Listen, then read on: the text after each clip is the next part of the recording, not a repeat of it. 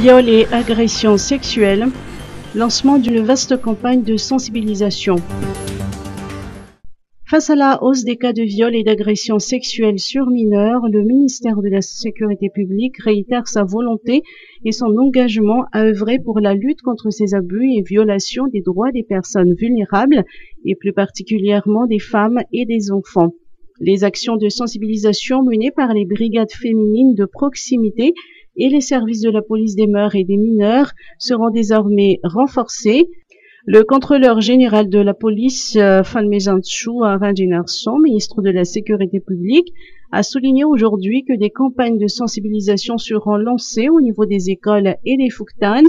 Le message est simple, les victimes d'agressions sexuelles sont invitées à porter plainte. Ceux qui ont eu connaissance des cas de viol ont le devoir de dénoncer ces actes criminels.